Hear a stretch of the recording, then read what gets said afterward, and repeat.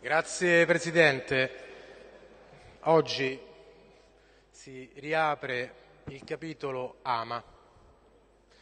Siamo tutti consiglieri di Roma Capitale, maggioranza e opposizione. Io ancora oggi mi chiedo, fatto salvo che ogni volta si viene a ribadire che la precedente amministrazione ha chiuso Malagrotta, per carità, tutti i meriti del mondo, però ha chiuso Malagrotta anche perché se non lo faceva c'era una sanzione giornaliera di 230.000, se ricordo bene, euro al giorno. Sfido chiunque a mantenerla, mantenerla aperta e se, appunto se non c'era questa sanzione magari oggi ancora era aperta e la colpa era da Raggi, eh? chiaro? Ora, il dato non è tanto questo, il dato è che appunto siamo tutti consiglieri di Roma Capitale, non si capisce per, per quale motivo gli unici che protestano nei confronti della Regione Lazio, eh? Regione Lazio governata dal PD Nicola Zingaretti, sono cinque anni, quattro e mezzo per carità, quattro e mezzo che devono fare il piano rifiuti regionale con i nuovi fabbisogni, visto che chiudendo Malagrotta che gestiva un terzo dei rifiuti di tutta la regione, non l'hanno fatto. Il problema è di Roma Capitale quando tutti sanno che lo smaltimento è in funzione dell'equilibrio impiantistico, questo lo dice la normativa regionale, che c'è in tutto il territorio regionale. Ecco, i consiglieri di maggioranza lo dicono, però quelli dell'opposizione o lo dimenticano o proprio non, non, lo ricordano, non si è capito. Comunque, ieri si parlava di efficientamento, addirittura ho sentito delle considerazioni rispetto all'azienda investimenti che viene chiusa perché, per carità, questa è una città che dovrebbe pensare agli investimenti, eh, efficientare. Allora, io mi chiedo, no? Si parla adesso di Ama, si dice che la città è sporca, per carità, non lo neghiamo.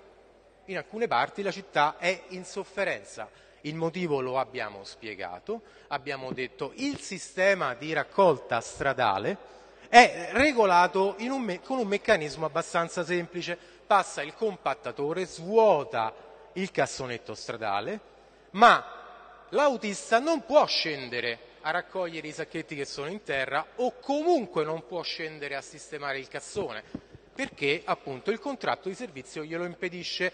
Questo sistema era stato organizzato in modo tale che dietro al, al mezzo vettore, il compattatore, passava uno squaletto. Se parliamo di efficienza, un'azienda che negli anni fa una programmazione del servizio ovviamente si preoccupa no, che tutti i mezzi siano in esercizio, siano funzionanti. Abbiamo scoperto che gli squaletti praticamente non ci sono più perché sono tutti rotti, perché sono arrivati a fine vita chi ha efficientato questo processo prima che arrivassimo noi? Nessuno. Lo stiamo facendo noi. Sappiamo che a novembre arriveranno 80 squaletti nuovi in affitto, altri 90 da una gara pubblica, la gara che stanno chiedendo, cioè ci chiedono di fare delle cose in ama che stiamo già facendo, poi si lamentano se gli bocciamo gli emendamenti o gli ordini del giorno.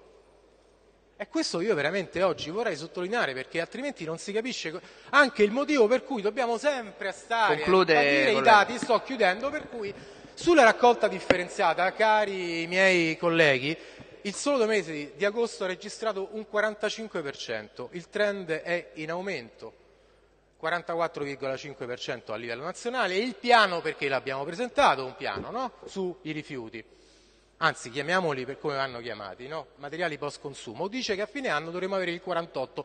Sicuramente l'assessore riferirà a fine anno i risultati raggiunti e allora potremo fare i correttivi, se ci sarà necessità di fare i correttivi. Ma ad ora, ad ora mi sembra che quello che serve in questa città è stare tutti schierati e chiedere magari a tutte le istituzioni governate da voi no? di dare quella mano che serve, perché altrimenti se continuiamo come è successo finora, dove vengono sparate soltanto, soltanto, le fake news per cui appunto si riapre Malagrotta, ricordo in passato, no? tutte queste robine qui, ovviamente non aiuta alla città e non aiuta neanche i cittadini. Grazie.